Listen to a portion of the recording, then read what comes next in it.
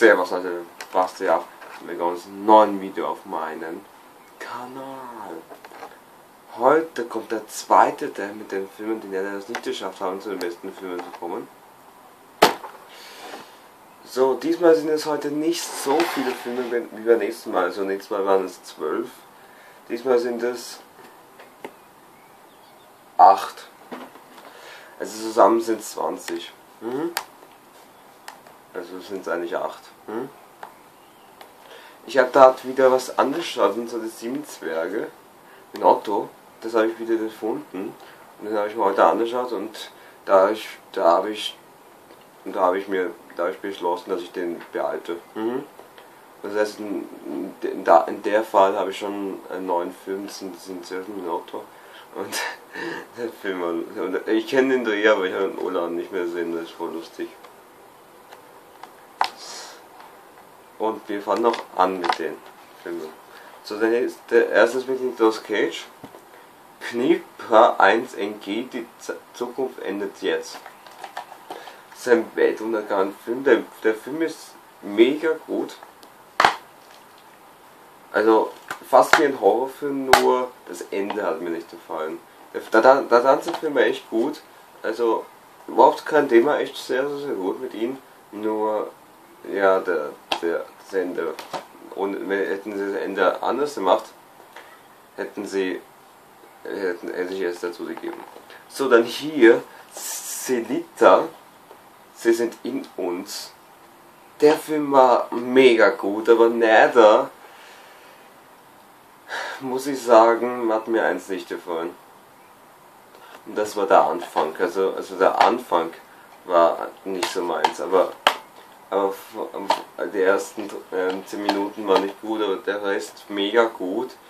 Aber da hätten sie schon den Anfang ganz, ganz, ganz anders gemacht. Also, aber der Film war gut. So, dann haben wir hier Dame der Horror, das ist das Remake. Eigentlich ein echt guter Film. Nur, leider ist das, das, das, das Horror sehr es anfängt in der 30. Minute und nicht gleich beim ersten. Hm? Der Film ist echt gut, aber hätten sie gemacht, dass das große oder horrormäßig schon am Anfang anfängt, dann wäre es 10 gewesen. Also. Dann haben wir hier Schocker. Schocker ist ein echt guter Film. Schocker, also der Film ist echt gut, nur naja, wie soll man sagen, ist ein bisschen wie erst in der Film. Infocreen heißt der, oder wie heißt der, trau der traurigste Film? Ich weiß es nicht.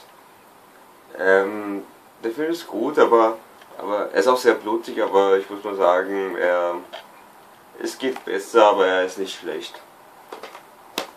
Also der hätte auch 10 Punkte verdient. Genauso wie das da, Freitag der 13. Teil 5 mega gut gemacht. Also die, die Tode sind gut, die Schauspieler sind gut, alles ist gut, außer eins Jason. Hätten sie Jason mitgespielt in den fünften, dann hätte ich 10 gegeben. Dann wäre es auch noch einer der besten gewesen. Mhm. Das Video ist glaube ich ein bisschen kürzer heute, nicht? So, dann ist hier heute Sinester 2. Mhm. Der erste ist mega gut, aber der zweite ist auch gut, aber naja, ein bisschen, ist als anders und die Zwillinge da auf, auf der Höhle streiten sich dann und hauen sich und hassen sich dann. Hätten sie das nicht gemacht, dann wäre der Film nicht so, nicht so gewesen. So, jetzt kommen zwei Christopher Lee Filme. Hm? Wir haben hier mal Burke und Haare. Ein echt guter Film. Also der Film war echt sehr lustig und echt sehr, sehr, sehr gut, aber das Ende war nicht gut. Wo, alle sterben, also die zwei und auch die Frau. Ja. Ja, wo, wo alle drei aufgehängt werden. Das auch, ja, das hat mir nicht so gut gefallen. Also hätten sie das nicht gemacht, dann, dann hätten sie echt den, hätte ich den echt gegeben. Hm? So. Und hier habe ich noch Danos die Mumie mit Christopher Lee. äh, der Film ist echt sehr gut, aber hat nicht einen neuen Punkt, weil Christopher Lee ähm, nur, nur am Anfang mitspielt und dann stirbt. Den, den sieht man, ich glaube, fünf Minuten oder sechs oder sieben, ich weiß es nicht, also ich muss mir nochmal anschauen, den Mann, aber, aber so lange sieht man ihn nicht, nicht, weil er dann stirbt am Anfang. Auch wenn er da in der Höhle drauf ist. Ja, da sieht man ihn nicht so. Nur einmal. Hm? Aber trotzdem ist der Film echt gut. Und noch was kommt heute. So, heute kommt auch noch die besten Filmreihen aller Zeiten, Top 12. Und wir fangen noch an.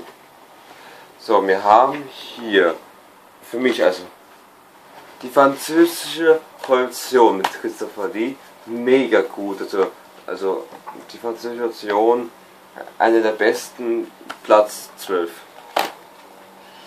So, dann haben wir hier mein Lieblingsfilm mit Christopher Lee und ich bin drei auch noch. Oh, äh, Ballast der Wüde. Also echt gut. Kann ich jeden Film einfach meisterhaft. So, weiter jetzt mit Star Wars. Ich habe jetzt nur den achten gegeben, weil der, weil der der beste ist. Und jetzt meine ich nicht den achten, sondern die, sondern die ganze Reihe. Also von 1 bis 8 plus Mon, Solo und all die anderen Filme noch und of Lomos und so weiter und fort. So, dann haben wir hier jetzt Insidious, den gruseligsten Horrorfilm, den ich je in meinem Leben gesehen habe das ist jetzt der erste, weil der erste der beste war. Und für alle jetzt, also ist jetzt Platz 9. Und für alle, also für 1, 2, 3 und 4. Alle. Winnetou, also alle Winnetou-Filme, alle 13 noch hier, ist meine Lieblingshülle. Und mein Lieblingsfilm ist Unter Dian.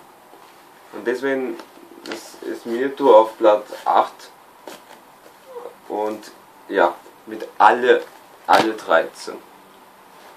So, dann haben wir hier Tanzer Teufel, der erste Teil. Auch nur den ersten Teil genommen, weil er der beste ist. Hm? Und 2 und 3 sind auch noch dabei. Wieso ich das jetzt mache? Weil, weil es mir dann so ein Haufen Stapel mit Not of Teile und so, deswegen sage ich das jetzt auch so. Hm? Tanzer Teufel, mega gut. Also dann haben wir hier Apple Waters, alle Apple Waters Filme, die ich jetzt, bis jetzt habe. Aber ich habe hier mal den besten, das indische Tuch. Ein echt guter schwarz-weiß Film und ein echt guter Krimi-Film. Schöner Film. Und echt gut, also alle Apple Waters Filme, die ich habe. Dann haben wir hier Matrix 3. Der dritte ist der beste und 1 und 2 sind auch noch mega gut.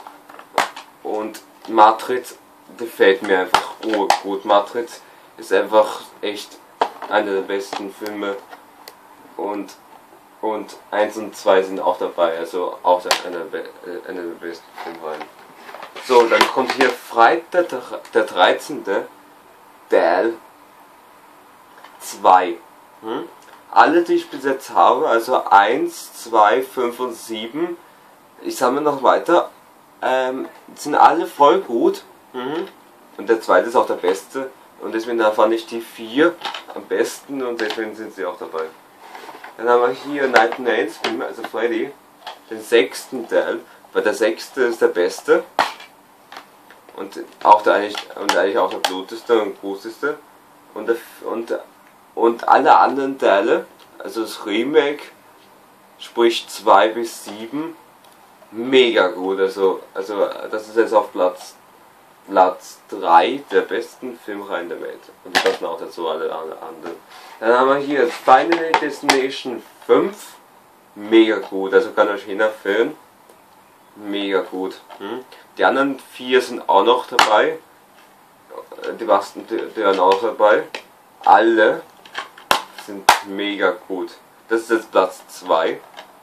Und wir haben jetzt Platz 1 nicht geschnitten, weil ich, das, weil ich das noch nicht anschauen darf. Selbst wenn ich 18 bin. Und es ist und bleibt mein absoluter Lieblingsfilm. Ich habe da schon ein bisschen was davon gesehen. So.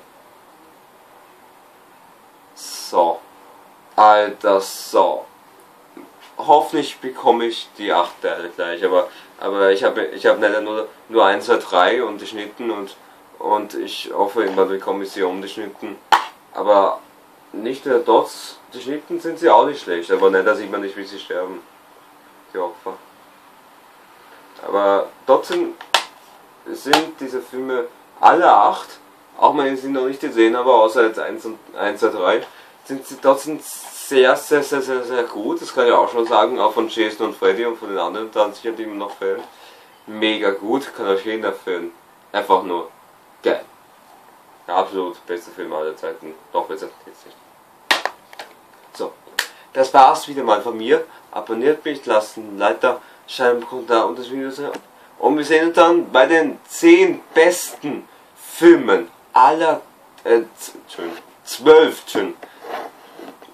Wir sehen uns dann bei den 12 besten Filmen aller Zeiten. 12 der allerbesten Filme. Und diese Liste wird nie geändert. Und das ist auch richtig, weil ich habe noch nie äh, solche Filme gesehen und keiner dieser Filme, die ich dann neu kaufe, kann sie hundertprozentig nicht besiegen. Und deswegen mache ich das, mache ich das irgendwann, ja. Und wir sehen uns dann bei den besten Filmen aller Zeiten, für mich. Das war es jetzt von mir und tschüss.